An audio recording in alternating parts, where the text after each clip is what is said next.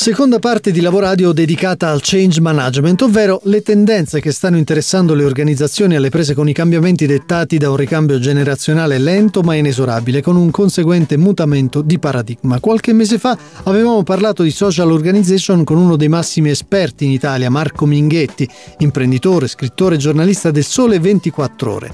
Lo abbiamo ritrovato alla job matching e ne abbiamo approfittato per chiedergli quali sono i vantaggi del passaggio a questo modello, ma prima di tutto di ricordarci cos'è la social organization. È un modello organizzativo che si fonda sul passaggio da funzioni verticali, famiglie professionali tradizionali, modello comando e controllo, burocrazie, a una rete di community che vivono offline ma anche e soprattutto online utilizzando appunto questi nuovi social software che ogni giorno di più eh, sono messi a disposizione dei, dei grandi player eh, internazionali. Cosa si guadagna ad andare verso o dentro la social organization? Innanzitutto si guadagna un efficientamento che secondo un famoso report che io ho tradotto in parte sul mio blog di 900 il sole 24 ore di, di McKinsey dell'anno scorso è stato calcolato in 1300 miliardi di dollari. Fra l'altro McKinsey analizza solamente 5 settori di business e sostanzialmente in questo report si dice la trasformazione dell'azienda burocratica tradizionale in social organization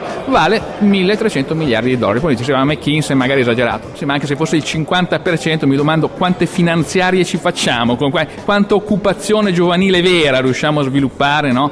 con una massa di denaro. Quindi innanzitutto eh, parliamo proprio di efficientamento e di recupero di produttività. Ovviamente poi c'è anche tutto un tema di eh, engagement e di eh, ripresa in termini di creatività e di innovazione che grazie a questi eh, social tool si può ottenere soprattutto sulle fasce diciamo più giovani che sono quelle che sempre più stanno entrando e che sono normalmente abituate a utilizzare strumenti come gli smartphone, no? gli iPad e in generale le tecnologie collaborative e oggi si trovano a entrare in azienda che eh, sono, hanno strumentazioni dell'Ottocento. Tra l'altro è veramente interessante notare come diciamo, dalla rivoluzione industriale a oggi eh, abbiamo sempre avuto, anzi fino a qualche anno fa, una situazione in cui l'azienda offriva una strumentazione professionale nettamente superiore alla tecnologia che una persona aveva a casa.